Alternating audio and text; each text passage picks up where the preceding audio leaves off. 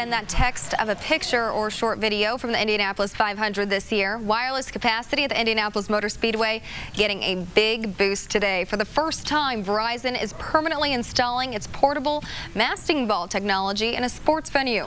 It's going in at turn three right there. The masting ball at IMS is similar to those used previously at events like the Super Bowl. Verizon says it will increase mobile coverage at the Speedway by 333%.